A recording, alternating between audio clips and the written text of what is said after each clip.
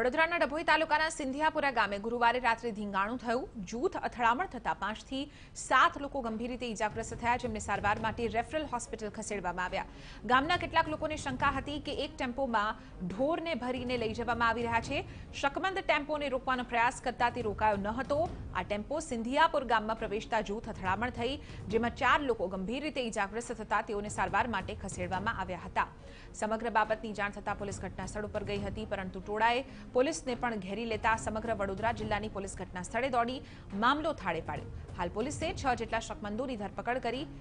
ગામને પોલીસ છાવણીમાં તબદીલ કરવામાં આવ્યું